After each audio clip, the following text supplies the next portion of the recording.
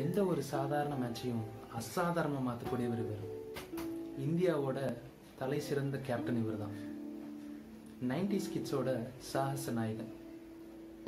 இவரை போல match finish பண்ண இன்னொருத்தர் பிறந்து தாங்க வரணும். துணிச்சலான பல முடிவுகள் எடுக்கிறதுக்கு சொந்தக்காரர் இவர். இவர் எடுக்கிற நிறைய முடிவுகள்னால நிறைய விமர்சனங்கள் சந்திச்சிருக்காரு. அதே முடிவுகள்னால இவர் வெற்றியும் பெற்றிருக்காரு. இவர் வாங்காத கப்பே இல்லைங்க. ரெண்டாயிரத்தி பதினெட்டாம் வருஷம் ஜூன் மாதம் இருபத்தொம்பதாம் தேதி டப்ளின்ற ஊரில் அயர்லாண்டுன்ற நாட்டில் இந்தியா வெர்ஸ் அயர்லாண்ட் மேட்ச் நடந்துட்டுருக்கு. அந்த மேட்ச் நடுவில் ட்ரிங்க்ஸ் பிரேக் விடுறாங்க. ட்ரிங்க்ஸ் பிரேக்கில் நடுவில் இருக்கிற ரெண்டு பிளேயர்ஸோட கிட் பேக்கையும் வாட்டர் பாட்டிலையும் தூக்கிட்டு ஒரு பிளேயர் என்ட்ரி ஆகிறார். இந்த பிளேயரோட என்ட்ரியை பார்த்து அங்கே இருக்கிற அத்தனை ஆடியன்ஸும் ஆச்சரியமாக எந்திரிச்சு நிற்கிறாங்க அப்படி எங்க ஆச்சரியம் எந்திரிச்சு நிற்கணும் அப்படியே உள்ளே வந்தது. அதுதானே கேட்குறீங்க அவர் வேறு யாரும் இல்லைங்க அவர் தான் நம்ம.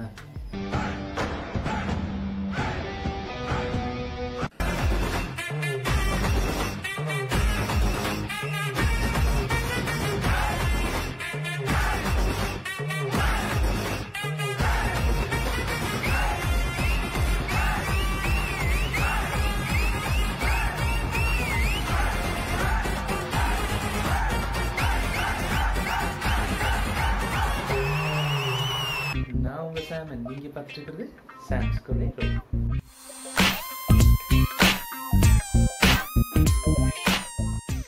இன்னைக்கு ரெண்டு டாபிக் பத்தி கவர் பண்ண போறேன். ஒன்னு பாத்தீங்கன்னா நம்ம டோனி கமெண்ட்ரிக்கு வர போறாருன்னு நிறைய இடத்துல பேசிட்டு இருக்காங்க. ஸோ அது ஒண்ணு. இன்னொன்னு பாத்தீங்கன்னா அவர் கமெண்ட்ரிக்கு வர்றதுல என்னென்ன சிக்கல் இருக்கு அப்படின்றத நீங்க நம்ம பார்க்க போறோம். ரெண்டாயிரத்தி பதினஞ்சாம் வருஷம் நவம்பர் மாசம் இருபத்தி ஏழாம் தேதி ஆஸ்திரேலியா வெர்சஸ் நியூசிலாந்து. முத முதல்ல ஒரு டெஸ்ட் மேட்ச் விளையாடுறாங்க.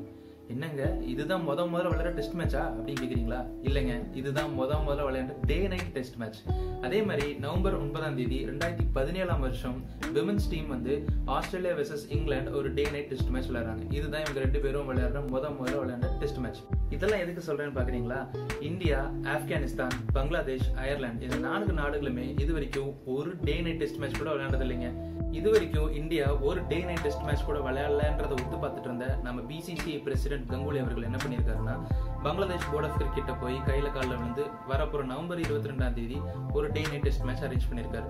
அதுதான் இந்தியா விளையாட போற முதல் டே நைட் டெஸ்ட் மேட்ச் இதுதான் இந்தியாவோட ஃபர்ஸ்ட் டே நைட் டெஸ்ட் மேட்ச்ன்றனால பிசிசியும் ஸ்டார் ஸ்போர்ட்ஸும் சேர்ந்து நிறைய அரேஞ்ச்மெண்ட்ஸ் பண்ணியிருக்காங்க. என்ன அரேஞ்ச்மெண்ட்ஸ்னு பார்த்தீங்கன்னா நம்ம இந்தியாவோட பிரைம் மினிஸ்டர் நரேந்திர மோடி அவர்களும் பங்களாதேஷோட பிரைம் மினிஸ்டர் ஷேக் ஹசீனா அவர்களும் வந்து இந்த டே நைட் டெஸ்ட் மேட்சை துவங்கி வைக்கிறாங்க. அது மட்டும் இல்லைங்க இது வரைக்கும் இந்தியாவுக்காக விளையாண்ட கேப்டன்ஸ் அத்தனை பேரும் இன்வைட் பண்ணியிருக்காங்க. இவங்கெல்லாம் வந்து என்ன பண்ண போகிறாங்க இல்லைங்களா இவங்கெல்லாம் வந்து நம்ம இந்த டெஸ்ட் மேட்ச் நடக்க போகிற அஞ்சு நாளுமே நமக்காக தங்களோட மலரும் நினைவுகளை நம்ம கூட ஷேர் பண்ண போகிறாங்க இப்போ வர சச்சின் டிராவிட் விவிஎஸ் ஹர்பஜன் கும்ளே இவங்கெல்லாம் தங்களோட அவைலபிலிட்டியை கன்ஃபார்ம் பண்ணியிருக்காங்க. கேப்டன்ஸ் எல்லாம் டெஸ்ட் மேட்ச்சுக்கு வராங்கன்னா அப்போ நம்ம கரெக்ட் தாங்க. உங்க கெஸ் ரொம்ப கரெக்ட் நம்ம டோனிக்கும் ஸ்டார் ஸ்போர்ட்ஸ் அஃபிஷியலாக இன்வைட் பண்ணியிருக்காங்க. ஜூலை மாசம் நடந்த வேர்ல்டு கப் செமிஃபைனலில் தாங்க நம்ம டோனி கடைசியா விளையாண்டார். அதுக்கப்புறம் அவர் லீவ்ல தாங்க இருக்காரு.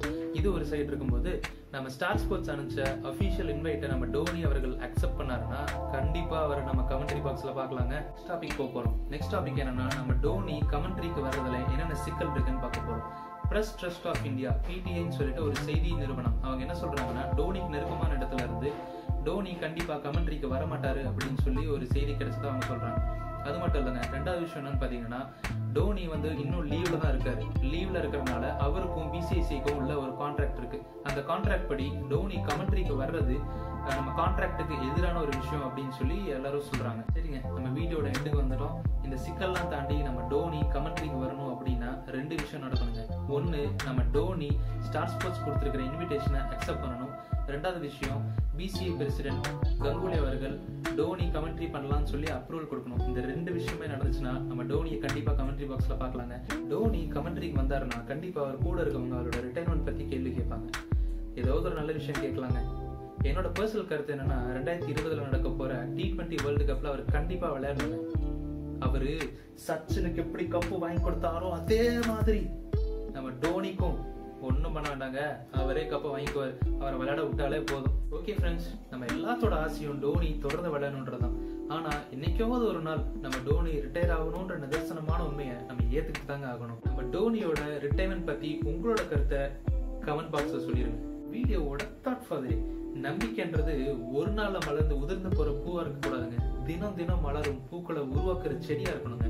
அப்படிப்பட்ட நம்பிக்கை நம்ம ஒவ்வொருத்தருக்கும் இருக்கணும்னு நான் கேட்டுக்கிறேன். ஓகே ஃப்ரெண்ட்ஸ் நெக்ஸ்ட் வீடியோல உங்களை சந்திக்கிற வர ஸ்டேடியன் டு சாம்ஸ் கொரேரோ ஒரு விஷயம் சொல்லவே மறந்துட்டேங்க. நம்ம டே நைட் டெஸ்ட் மேட்சோட ஃபர்ஸ்ட் நாள் தொடங்கி வைக்கிறதுக்காக பங்களாதேஷ்ல இருந்து பிரைம் மினிஸ்டர் கஷ்டப்பட்டு குளிச்சு கிளம்பி ஃபிளைட் பிடிச்சி அவங்களோட ஃப்ரெண்ட்ஸ் எல்லாம் கூட்டிட்டு வந்து அவ்வளோ பெரிய பெல் ஒன்று இருக்குமா வாங்க? அதை அடிச்சு தான் அதை ஸ்டார்ட் பண்ணி வைக்க வர போறாராமா? நீங்க அவ்வளோலாம் கஷ்டப்பட வேண்டாங்க. உங்க கீழே சப்ஸ்கிரைப் பெல்லுன்னு ரெண்டு இருக்கும். அதை ஈஸியாக அமைச்சிட்டு போயிடலாம். பாய்